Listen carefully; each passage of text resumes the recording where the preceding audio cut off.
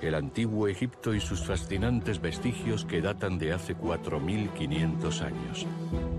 Pirámides, tumbas, ciudades sumergidas, templos. ¿Cómo se construyeron y qué nos queda por descubrir? Una de las claves de estos misterios podría ser un elemento prodigioso que tenemos ante nosotros desde la Edad de Piedra, el Nilo. El río más largo del mundo después del Amazonas, 6.700 kilómetros de agua que acaban en el mar Mediterráneo tras atravesar una decena de países. Pensamos en el Nilo como algo inmutable, pero el río ha evolucionado muchísimo a lo largo de la historia de Egipto e incluso antes. Sin el Nilo, Egipto no existiría. El río fue lo que creó Egipto. Gracias al Nilo, miles de bloques de granito recorrieron distancias increíbles para dar vida a las maravillas del antiguo Egipto. Nuestros equipos han realizado una exploración inédita con técnicas de vanguardia, algunas de las cuales nunca se habían utilizado en Egipto. Desde Alejandría hasta el lago Nasser y el Mar Rojo, hemos salido en busca de la huella de las 33 dinastías faraónicas. Es como si estuviéramos sacando la antigua ciudad de Alejandría del agua. En este episodio vamos a explorar el delta del Nilo, donde se escribieron las últimas páginas del antiguo Egipto. Aquí, al norte del país, es donde más ha cambiado el río, ya que ha pasado de siete desembocaduras a las dos actuales. Reencontraremos las ciudades desaparecidas con el antiguo cauce del Nilo para desencriptar los misterios de las últimas dinastías de los faraones. ¿Dónde se esconden los vestigios del inmenso faro de Alejandría, una ciudad que los egipcios conectaron con gran ingenio al Nilo? ¿Podemos creer las leyendas que hablan de ciudades sumergidas bajo las aguas del Nilo y del mar? La tierra se desplomó, quedó por debajo del nivel del mar y el agua lo cubrió todo. Puede competir perfectamente con el tesoro de Tutankamón, pero no solo encontró una tumba, sino una quincena. Junto a los mejores egiptólogos y científicos internacionales, nuestra expedición nos llevará bajo tierra, por el aire y hasta las profundidades del delta para desentrañar los últimos misterios del Egipto de los faraones construidos a lo largo del río Sagrado.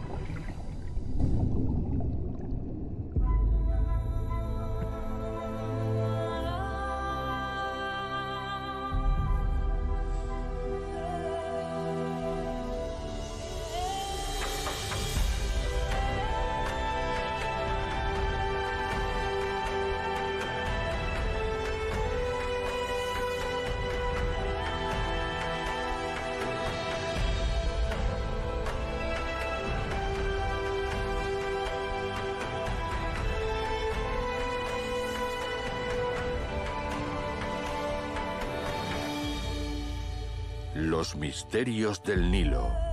Las ciudades perdidas del delta.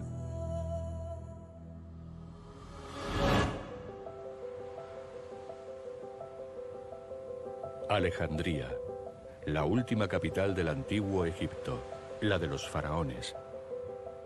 Situada en el delta del Nilo, a 200 kilómetros del Cairo, Alejandría esconde los fascinantes vestigios de la época ptolemaica, es decir, la de las dos últimas dinastías de faraones griegos y macedonios. Pero al contrario que en los conocidos yacimientos de la meseta de Giza y Luxor, en Alejandría, la huella de los faraones no es tan evidente a simple vista. Creo que los vestigios de Alejandría merecen la pena, porque hablamos de arqueología urbana, pero también tendremos que realizar un trabajo interminable para obtener resultados que tengan una buena base histórica. Tres siglos antes de nuestra era, bajo la dinastía 32, Alejandro Magno quiso construir el puerto más grande abierto al Mediterráneo. Una obra colosal que deberá conectar el país y su río sagrado, el Nilo, con el resto del mundo. Alejandría era quizá la ciudad más importante del Egipto tolemaico. Era realmente la puerta de entrada al Mediterráneo. Cuando llegó a Egipto y recibió el gran oráculo del dios Amón, Alejandro Magno eligió este lugar porque pensó que podía ser un gran punto comercial y de transporte en el Mediterráneo. Y además quería construir una ciudad en su propio honor. A pesar de ello, Alejandría no rompe con lo que era el Egipto milenario. Los reyes griegos como Alejandro y después los tolemaicos se hacían llamar faraones y retomaron el legado de los grandes soberanos fundadores de las pirámides como Zoser o Keops. En ese afán desenfrenado por la construcción, edificaron una obra increíble. Una de las siete maravillas del mundo, hoy desaparecida. El Faro de Alejandría.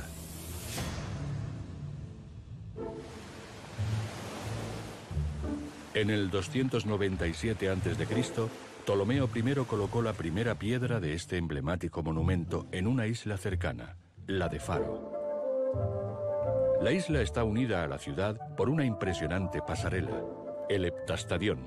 Su nombre tiene origen en su longitud, siete estadios, casi 1.300 metros. Se necesitaron más de 15 años para levantar este monumento único cuyo arquitecto principal es desconocido. El faro duró casi 15 siglos. Es decir, en aquella época, la ingeniería era ya de una calidad capaz de resolver problemas con medios humanos. De hecho, el faro de Alejandría fue una maravilla arquitectónica de 135 metros de alto, casi tanto como la gran pirámide de Keops. Construido con una piedra blanca resplandeciente, domina la ciudad y su llama, encendida día y noche, guía a los marineros a varias decenas de kilómetros a la redonda.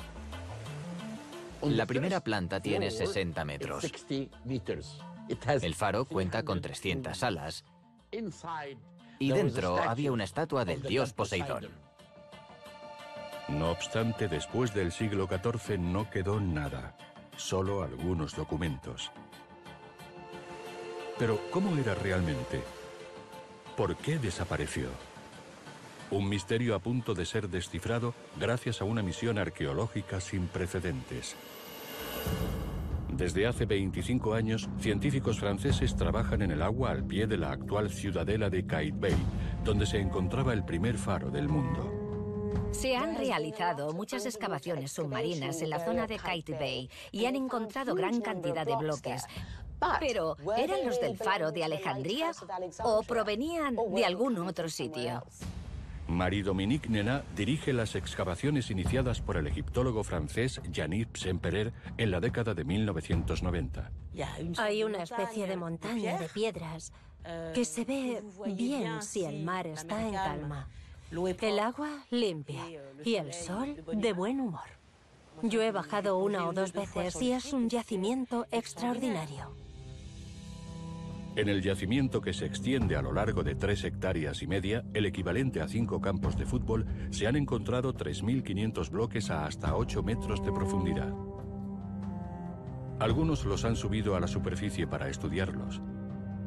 Pero ahora mismo es imposible afirmar que eran del mítico faro, sobre todo porque la exploración de una zona submarina tan extensa es larga y complicada. Es un yacimiento de bloques esparcidos incluso a veces apilados. Los hay desde la época faraónica y llegan hasta la época romana tardía, y en la antigüedad seguramente en su mayoría estaban fuera del agua. Solo los científicos tienen acceso a este maravilloso lugar. Sin embargo, excepcionalmente hemos conseguido una autorización para bucear en él y remontarnos 2.300 años para tocar con nuestros propios dedos los posibles restos de la séptima maravilla del mundo. Es como si estuviéramos sacando del agua la antigua ciudad de Alejandría.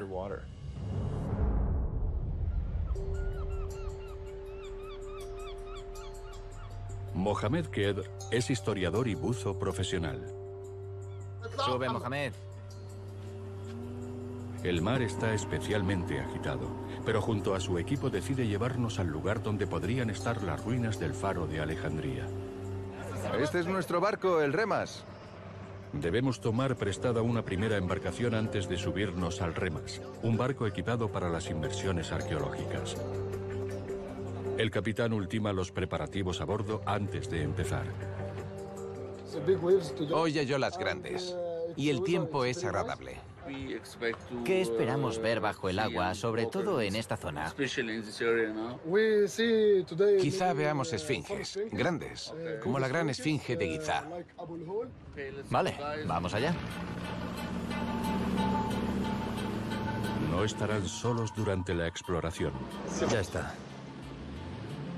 Para acompañarles, hemos traído por primera vez a Egipto un dron submarino excepcional. Se trata de un verdadero portento tecnológico y no tiene miedo ni a las corrientes violentas ni a la falta de visibilidad. Jean-Baptiste y Cédric, especialistas en grabaciones con dron, han venido desde Francia y Alemania para pilotar este robot submarino en estas condiciones inéditas. Ya, para. El equipo verifica la presión y termina de preparar las botellas de aire que les permitirán bucear más de una hora en el yacimiento. Genial. ¿Vamos? Sí. Pues venga.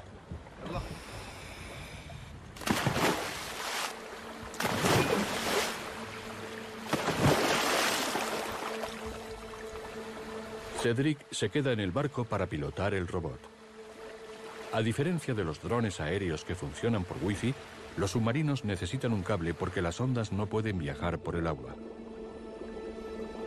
Es el momento de la verdad para el dron. Aparecen las primeras imágenes en el monitor del piloto. El agua está a 28 grados y estamos a 4 metros de profundidad, pero por ahora no se ve nada. A 6 metros aparecen los primeros vestigios. Fascinante. Esfinges incompletas.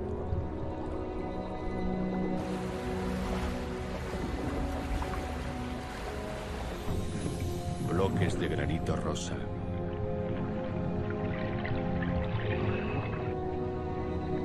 Restos de columnas.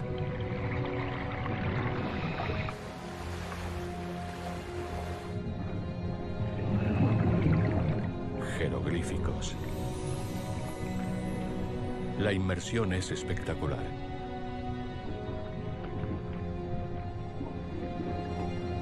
Desde 1993, solo se han subido a la superficie algunas piezas concretas que han permitido al equipo francés llegar a una conclusión.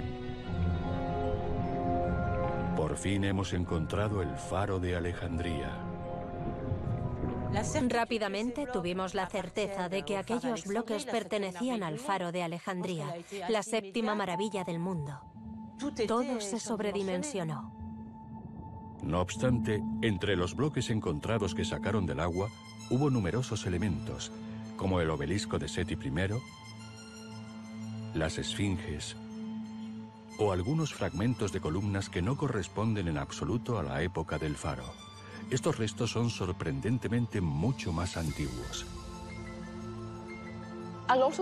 Muchos de los bloques encontrados en la zona de Kaiti Bay pertenecen a los templos de Ramsés o Seti y claramente los trajeron de otros lugares del interior. Aquellos templos fueron masacrados para conseguir bloques que protegieran los faros y Alejandría en general. Sabemos que los Ptolomeos tenían la tradición de llevar objetos del interior de Egipto a Alejandría simplemente para decorar, para mostrar las antiguas civilizaciones. Alejandría era el escaparate de los Ptolomeos. Las esculturas que tomaron prestadas de otros lugares abandonados se utilizaban como ornamento o después para proteger la isla y la ciudadela. Esta es la explicación que actualmente da la comunidad científica.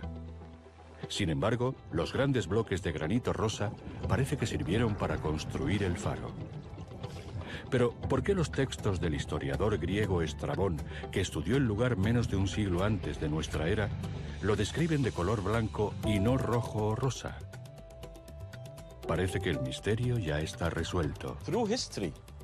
A lo largo de la historia pensamos que se había construido con mármol, pero resulta que bajo el agua todas las piezas eran de granito, granito rojo.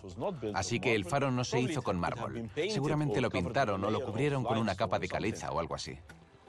Para encontrar granito rosa en Egipto hay que navegar por el Nilo más de mil kilómetros, hasta la región de Asuán, en el sur. Un trayecto titánico con los medios de la época. Hombres y barcos. Los barcos que iban del sur al norte usaban la corriente de las aguas del Nilo, mientras que los que venían del norte al sur utilizaban el viento. Se necesitaban unos 25 días para llevar cada bloque a Alejandría y construir esta maravilla del mundo, cuya longevidad será excepcional, casi 1600 años. ¿Cómo es posible que este coloso de piedra se desmoronase totalmente antes de hundirse en el mar? Hemos esclarecido el misterio de su desaparición. Una sucesión de cataclismos entre los siglos IV y XIV dañaron y progresivamente hicieron caer el faro en su totalidad. Y además provocaron que las piedras acabaran en las aguas de la bahía. Todos los palacios y templos de Alejandría se hundieron en el mar. Un terremoto produjo grandes daños en muchos de los monumentos, sobre todo en Alejandría. En el siglo XV, en el emplazamiento del antiguo faro, el sultán mameluco Bey mandó construir un fuerte que todavía existe.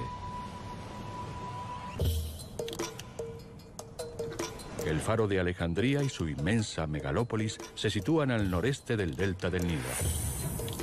Y a simple vista, nada los une con el río sagrado ni con el resto de Egipto. Nada más lejos de la realidad. Pocos lo saben, pero en la antigüedad el Nilo y el delta tenían otro aspecto. Antes era una zona muy, muy pantanosa. Había muchísimo papiro y allí vivían gran cantidad de animales. Al norte del Cairo, el río se divide en diferentes ramificaciones para acabar en el mar Mediterráneo.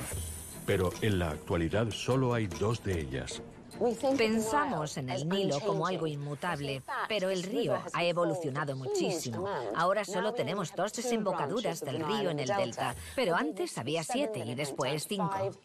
Entre ellas había una esencial que ha sido un enigma durante mucho tiempo, la desembocadura de Canopo.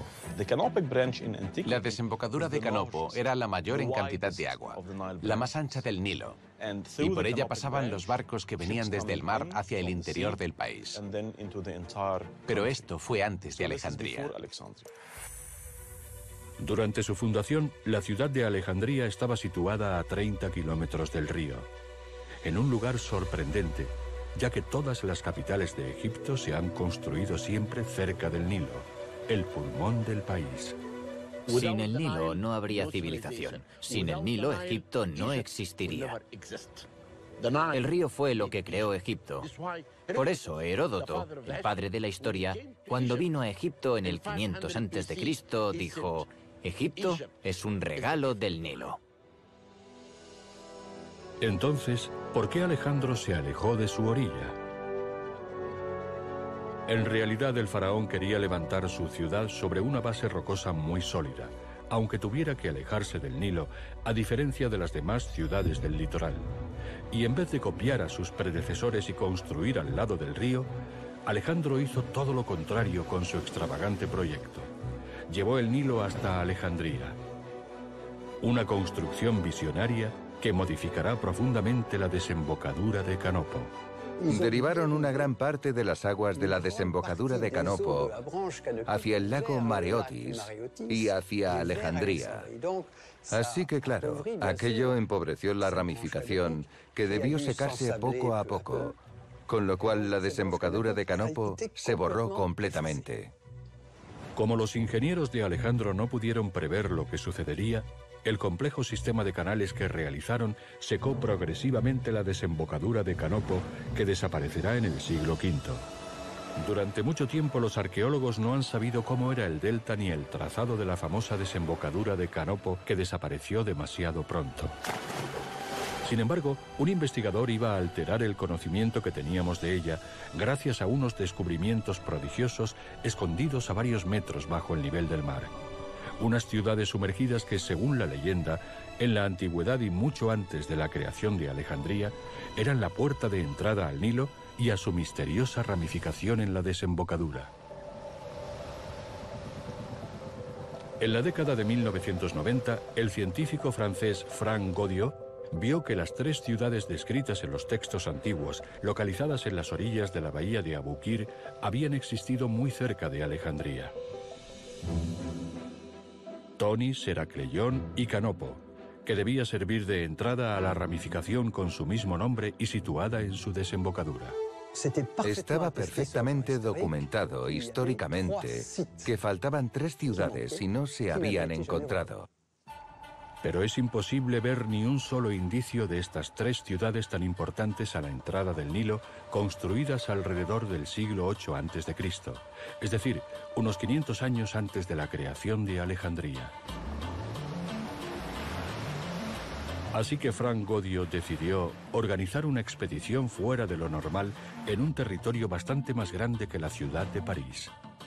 Al realizar una inmersión en un área de 150 kilómetros cuadrados para ver restos, no íbamos a ver nada y como nunca se había visto nada en la zona, era probable que estuviera todo cubierto por sedimentos. Así que en 1997 comienza una tarea de dimensiones titánicas al oeste de la bahía de Abu Qir, a bordo de un barco equipado con sistemas de detección de vanguardia desarrollados por el Comisariado Francés para la Energía Atómica. Debería haber grandes muelles con restos. Frank Godio pensó en abandonar varias veces, pero estaba convencido de que aquel era el lugar correcto y que las ciudades le esperaban escondidas en algún sitio bajo el mar. Finalmente su perseverancia dio frutos. Tras un año y medio, habíamos descubierto a 1,2 kilómetros anomalías magnéticas. Así que realizamos la inmersión y no encontramos nada, solo arena. Tuvimos que excavar y así fue como encontramos ruinas extraordinarias. Era la ciudad de Canopo.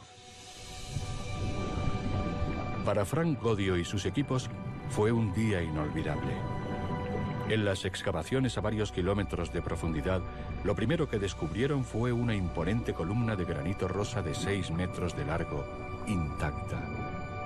Dicho yacimiento, que se extendía un kilómetro de ancho y uno y medio de largo, les reservaba más sorpresas.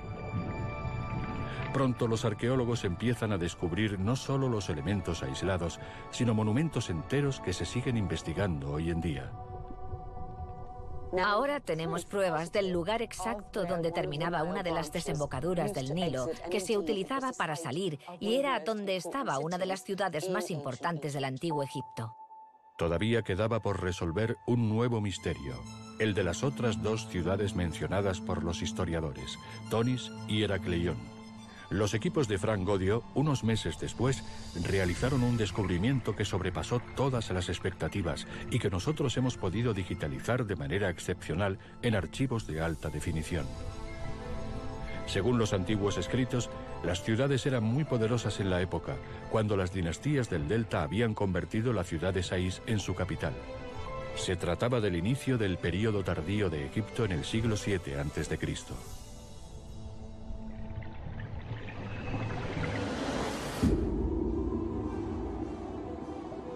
En la actualidad ya no existe la desembocadura de Canopo, pero su ramificación vecina de Rosetta es uno de los últimos vestigios del antiguo Nilo. Comienza al noroeste del Cairo para acabar en el Mediterráneo a la altura de la ciudad de Rosetta a unos 200 kilómetros.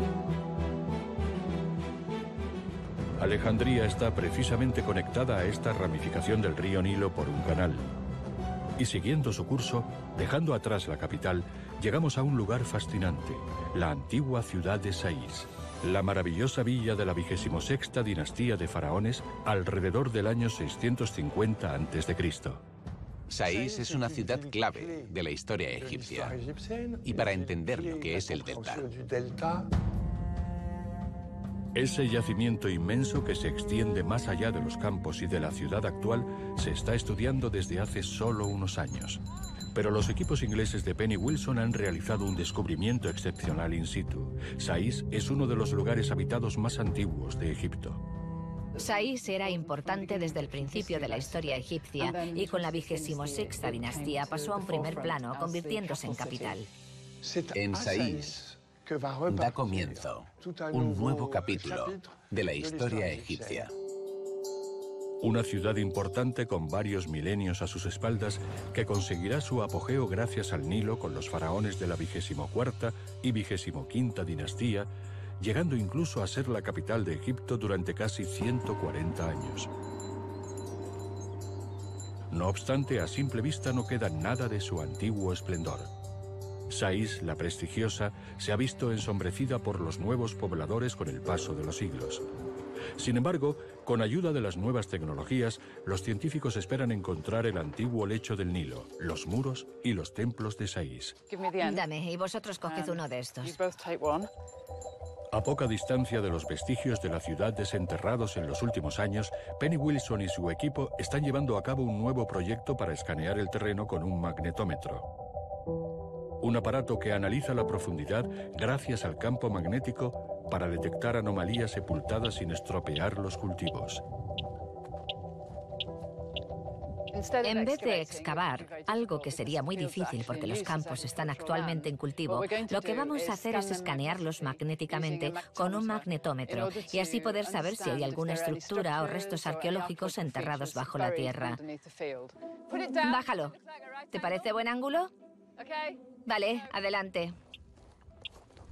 Hemos dividido el campo en una cuadrícula de 30 por 30 metros.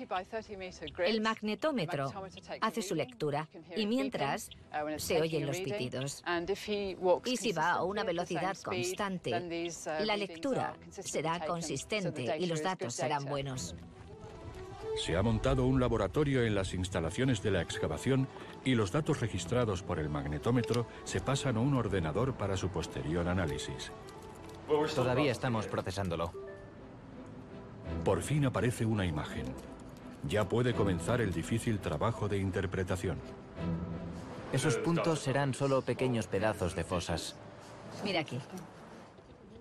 Lo que más interesa a estos arqueólogos son las líneas horizontales, demasiado perfectas para ser de origen natural.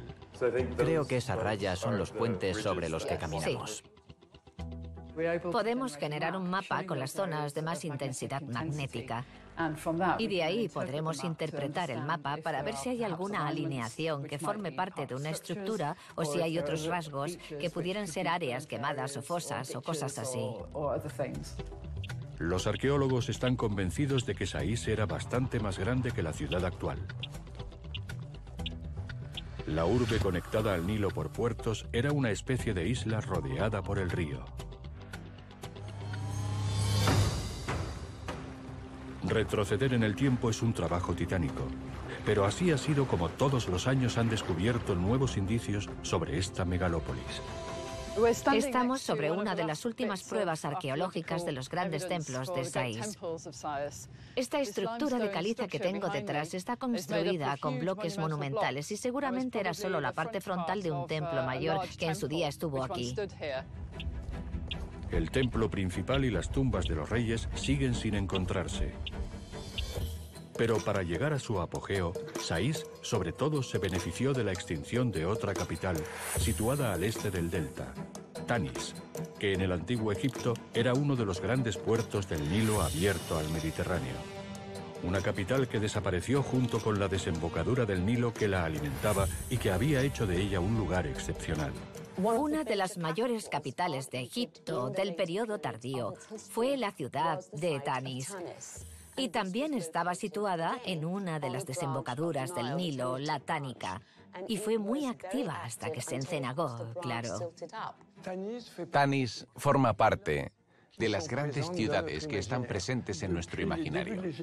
Desde los inicios de la egiptología, ha sido de los yacimientos que hemos querido conocer. Un lugar misterioso que conocen pocas personas y que ha dado cobijo al único tesoro de un faraón que a día de hoy puede competir con el de Tutankamón. Egipto a finales del Imperio Nuevo, 11 siglos antes de Cristo. En esta época el país de los faraones entra en un período de división. La vigésimo primera dinastía instala su capital en Tanis, en el delta, aunque el nombre de Tanis sea desconocido para el gran público, millones de nosotros hemos visto muy de cerca uno de los símbolos de esta ciudad del Nilo, ya que desde las primeras incursiones, tras la campaña napoleónica, gran número de los restos encontrados en Tanis acabaron en museos. En Francia sobre todo, en el Louvre. Los visitantes descubren el antiguo Egipto gracias a la Esfinge. Es la Esfinge monolítica más grande que hay fuera de Egipto. Esta inmensa esfinge se descubrió en 1825 dentro del templo más grande de Tanis, el dedicado al dios Amón. Un templo misterioso, último vestigio de un gigantesco yacimiento faraónico. Para descifrar mejor lo que era esta ciudad portuaria de antaño, situada a orillas del Nilo, no empezaremos nuestra expedición en Egipto. En Toulouse, al sur de Francia, el Centro Nacional de Estudios Espaciales analiza las imágenes de los satélites. Vamos a ver Tanis. Luc Lapierre es un científico especializado en arqueología espacial y está especialmente interesado en el yacimiento de Tanis. Lo bueno del satélite es que pasa con regularidad por la zona y entre el gran conjunto de imágenes encontramos una que nos ofreció un resultado impresionante. Comparando las imágenes tomadas vía satélite a gran definición, Luc Lapierre notó anomalías en el suelo muy interesantes para los arqueólogos. Se percibe un conjunto de formas geométricas regulares que se reparten por toda la superficie con posibles callejones y habitantes. En esta imagen vemos aparecer todo un poblado. Con esta imagen podemos hacernos una idea de la inmensidad de la ciudad hace 2500 años, ya que su área en la época se extendía más de 200 hectáreas. Hoy en día casi no queda nada de ello. Tanis se esconde bajo la arena y lo esencial está todavía por descubrir. Gracias a la arqueología espacial pronto podremos analizar el conjunto de las ciudades egipcias como Tanis, además de realizar excavaciones focalizadas sobre el terreno. En Egipto la arqueología espacial es primordial porque el Valle del Nilo es muy extenso, así que hace falta una herramienta de prospección que cubra una superficie muy grande. Pero, ¿qué queda de las ruinas de esta ciudad denominada la Tebas del Norte por los antiguos egipcios? ¿Y dónde se esconde el maravilloso tesoro descubierto allí? Para llegar a Tanis desde el Cairo, hay que viajar por carretera casi cuatro horas y llegar al pueblo de San Elagar. Aquí, cerca de la desembocadura tánica del Nilo, hoy seca, fue donde los faraones de la vigésimo primera dinastía construyeron Tanis y su puerto, rodeado por lagunas. François Leclerc dirige la misión francesa de las excavaciones de Tanis. Todos los años descubren nuevos indicios sobre esta capital del antiguo Egipto durante tanto tiempo olvidada. En estos últimos años hemos realizado numerosas extracciones con especialistas y nos dimos cuenta de que había elementos de canales de navegación al otro lado del yacimiento. Así que Tanis era claramente un puerto. En la ciudad había varios templos dedicados a las divinidades de la zona. Al faraón Susenes I debe Tanis la monumental construcción de su templo principal en el interior de una potente muralla de adobe protegido como una fortaleza. Estamos delante del templo de Amón, que es el templo principal de Tanis, el mismo dios que en Karnak. Y delante está la puerta principal, una puerta de granito realizada por el rey Sheshonq III. No quedan más que unos pocos vestigios del esplendor de su pasado y se debe a que los monumentos de Tanis fueron desmantelados cuando fue abandonada para luego ser transportados por el Nilo desde el puerto para construir otras ciudades. Los arqueólogos tienen que imaginar la ciudad a partir de un puzzle casi vacío. Ese amasijo de bloques grandes de ahí es casi todo de la puerta, así que tenemos que imaginárnoslo. Allí quedan algunos elementos grandes, pero la puerta era mucho más alta. La inmensa puerta de 12 metros de altura marca el eje central del templo de Amón de este a oeste y nos permite imaginar las colosales dimensiones que tenía. 80 metros de ancho por 300 de largo. El objetivo de François Leclerc es apasionante. Sacar, clasificar y ordenar las decenas de bloques para hacer que Tanis resurja de su sudario de arena. Una labor titánica. Vamos a retomar el estudio arquitectónico de este monumento y a intentar reestudiar todos los bloques. Y después la idea es levantar de nuevo la espectacular puerta, pero implicaría una obra enorme que por ahora no tenemos prevista. Nosotros hemos propuesto a François Leclerc realizar un verdadero escáner topográfico del yacimiento gracias a una técnica de vanguardia, el LIDAR. Solo haremos un vuelo con el LIDAR. Sí. Por primera vez en la historia de Egipto, hemos obtenido una autorización excepcional para sobrevolar Tanis con un láser aerotransportado. Julien Bernard es un especialista francés en LIDAR.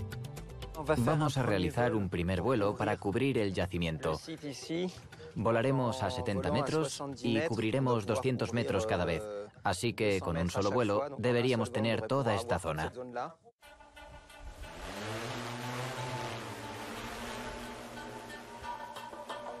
Esta técnica permite obtener la topografía de un lugar en unas horas independientemente de la iluminación.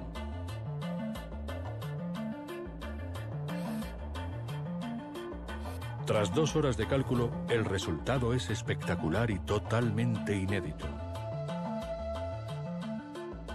Todas las alturas del yacimiento aparecen al detalle y además permite estudiar y medir cada uno de los elementos.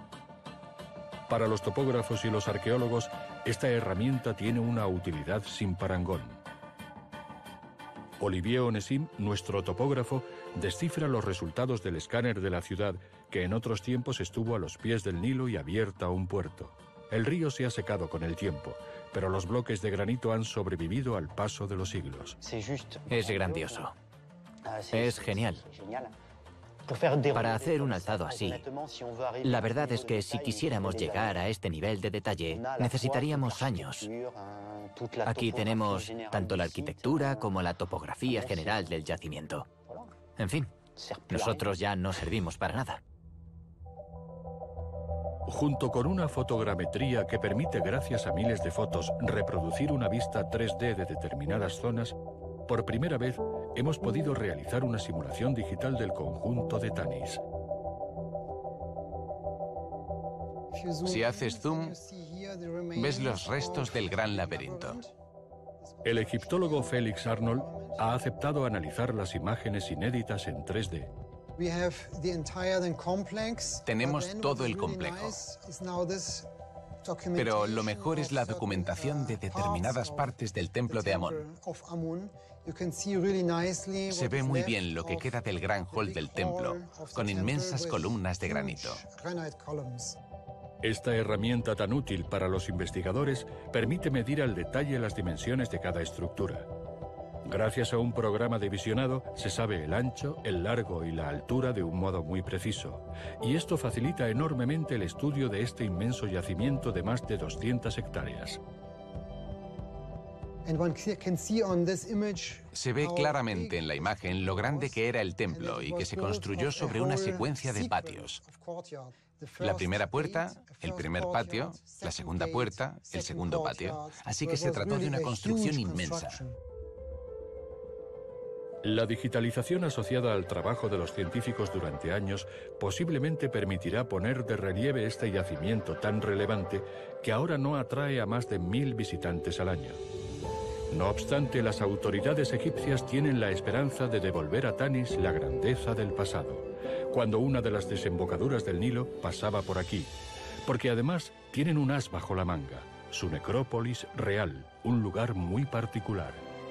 En Tanis tenemos algo extraordinario, un complejo de templos. Allí enterraban a los faraones en parte por seguridad, para proteger la sepultura dentro del conjunto del templo. Así que los tuvieron que meter en una zona más pequeña. A diferencia de otros yacimientos, en Tanis las tumbas de los faraones se construyeron dentro del templo y no fuera. El material del que están hechos el templo y las tumbas, igual que los objetos descubiertos, han permitido entender la importancia del Nilo en los intercambios comerciales de Tanis. El análisis de esta necrópolis es digna de una película de aventuras, y el resultado es uno de los tesoros más bellos de Egipto. En 1939, el arqueólogo francés Pierre Montet descubre un impresionante conjunto de tumbas a orillas de una de las ramificaciones del delta del Nilo que hoy en día está seca. Las sepulturas de los soberanos que construyeron Tanis y que reinaron allí, un hecho inesperado. Las primeras tumbas en las que entra las han saqueado. sobre todo la de Osorcón II. Continúa con las excavaciones de alrededor y se da cuenta de que hay otra al lado. El 17 de marzo del 39 baja a la tumba y ve que está cerrada. La abre y dentro descubre lo que cree que es la sepultura de sus senes. Aquí no se acaban las sorpresas para Pierre Montet. El sarcófago es de otro rey, Sesong II, pero decide continuar con la investigación dentro de la tumba. Al año siguiente, entra en dos salas suplementarias y allí encuentra los tesoros intactos de Susenes I y su sucesor Amenemope. Encontraron un gran sarcófago de granito rojo, el segundo de granito negro y el tercero de plata. El descubrimiento fue excepcional. A la altura del de la tumba de Tutankamón en 1922, encontrada por Howard Carter. Puede competir perfectamente con el tesoro de Tutankamón y yo incluso diría que superarlo, porque no solo encontró una tumba, sino una quincena. Las primeras sepulturas encontradas por Pierre Montet habían sido saqueadas parcial o totalmente. Sin embargo, la del faraón Susenes I está milagrosamente intacta. En el interior hay un verdadero botín, un sublime sarcófago de plata cuya máscara está decorada con oro puro. Lo más increíble de la sepultura de Tanis en concreto del sarcófago de plata, es que está muy bien decorado con el faraón representado por el dios Osiris, sujetando los dos símbolos de su poder, el cetro y el látigo, y con el ureo protector o la serpiente, la cobra que escupe fuego en la frente para estar protegido contra el mal. Monted ha hecho historia, al menos eso cree él pero su descubrimiento se ve eclipsado por el inicio de la Segunda Guerra Mundial. El conflicto borra la gran extracción del yacimiento y su tesoro prácticamente se olvidará hasta la actualidad.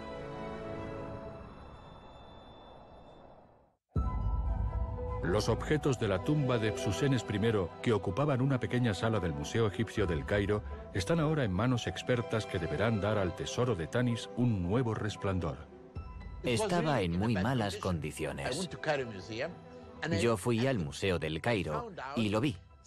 Y entonces me di cuenta de que como se había restaurado hacía tiempo, necesitaba más restauraciones porque se había descubierto en malas condiciones. En efecto, las momias que encontraron estaban muy dañadas por la humedad de la zona. Las ramificaciones del Nilo y la cercana laguna que había antes de nuestra era no ayudaron a su conservación. Los sarcófagos también habían sufrido por las inclemencias del tiempo y las lagunas. No obstante, los científicos han logrado borrar las marcas que parecían indelebles. Los ojos prefiero dejarlos para luego, porque hay que restaurarlos un poco antes de limpiarlos. Sí, hay que arreglarlos. Sí. Excepcionalmente hemos podido entrar en un lugar secreto donde todos los días se realiza un minucioso trabajo de restauración lejos de todas las miradas. Hay muchos restos y tengo que quitarlos. Empezaré por el trabajo mecánico con el palo de madera y luego usaré los químicos. Algunos egiptólogos y restauradores del Museo del Louvre han venido a ayudar con esta colosal labor.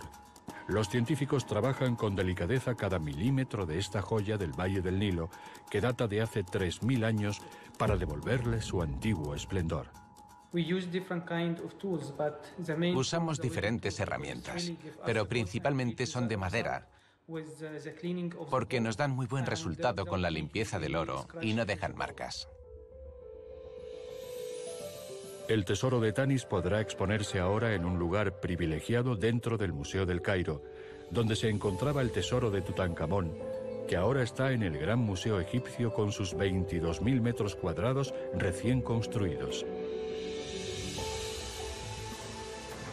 Pierre Montet y Howard Carter han logrado un lugar propio adaptado a sus fabulosos descubrimientos.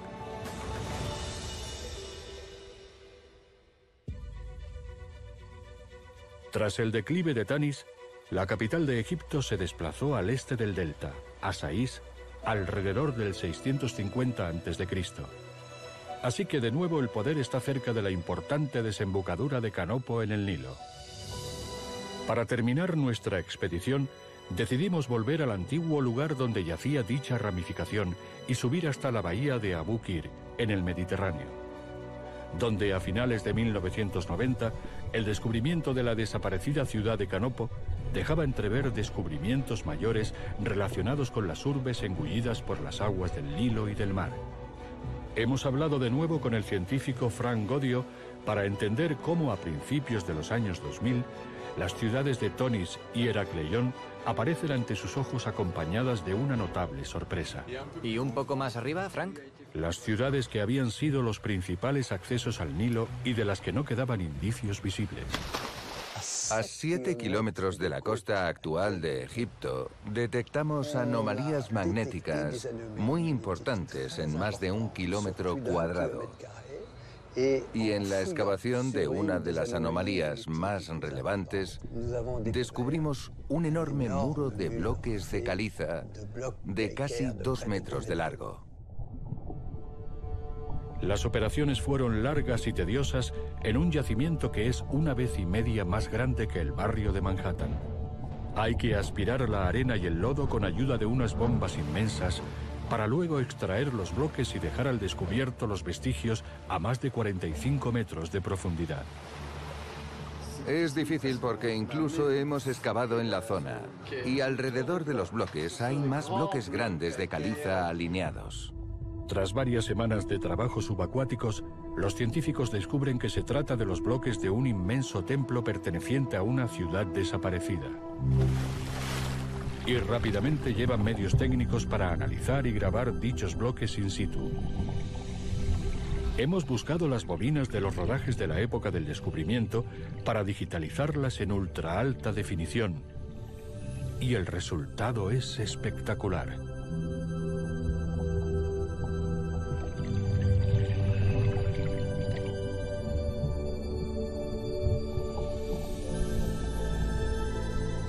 Es como un mundo de ensueño lleno de descubrimientos alucinantes.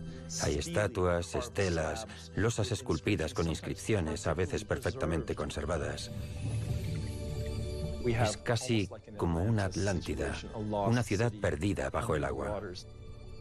Es extraordinario. Era el gran templo de la ciudad de Heracleión. Tras el reciente descubrimiento de Canopo, el de la ciudad de Heracleión fue un momento notable. Sin embargo, el científico ya tiene otra idea en la cabeza. Quiere encontrar a toda costa la tercera ciudad, Tonis. La sorpresa será mayúscula. Investigando en el templo, encontramos una preciosa estela negra intacta que nos indicó que estábamos en la ciudad de Tonis. Tonis era el antiguo nombre egipcio de la urbe de Heracleión. Tonis Heracleión era el mismo lugar. Hasta entonces, Tonis y Heracleión eran dos leyendas. No obstante, ahora ya sabemos que se trataba de una misma ciudad construida en el siglo VIII a.C. Una ciudad de importancia colosal, el primer puerto de Egipto y más influyente que la futura Alejandría. El puerto de Tonis Heracleión fue el imperio de Egipto en el Mediterráneo. Por orden del faraón, era el puerto obligatorio por el que todos los navíos del mundo griego debían pasar para entrar en Egipto. Todos los barcos que entraban por otra ramificación del río tenían que dar media vuelta y pasar por el puerto de Tonis Heracleión. La ciudad controlaba la desembocadura de Canopo y por consiguiente todo Egipto, ya que esa era la ramificación del río más navegable del país. Canopo y Tonis Heracleión Prosperaron durante varios siglos y eran dueñas y señoras de la desembocadura de Canopo. Pero, ¿cómo puede ser que unas potencias así fueran engullidas tan rápido y sin dejar huella? Entre el 450 y el 380 sucedió algo. Se produjo un fenómeno. Bueno, no lo sabemos, pero... Lo engulló todo. Ahora tenemos datos precisos de la manera en que se destruyó la ciudad de Tony Seracleion. Hubo un terremoto que dio lugar a un maremoto que a su vez originó un fenómeno de licuación del suelo y la Tierra se desplomó más de 6 metros en una fracción de segundo. Quedó por debajo del nivel del mar y el agua lo cubrió todo.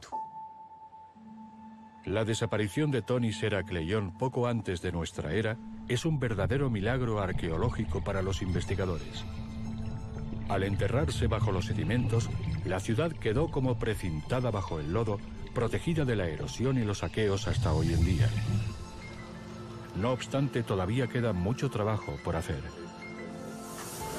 Un trabajo bien hecho. Hace unos años pensaba que ya habíamos desenterrado el 2 o el 3%, pero nos hemos dado cuenta de que bajo los vestigios hay más restos.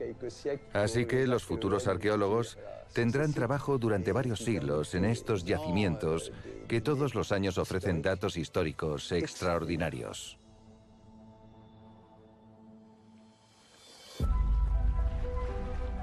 ¿Cuántos maravillosos yacimientos como este quedarán por descubrir en el Nilo y en todo Egipto?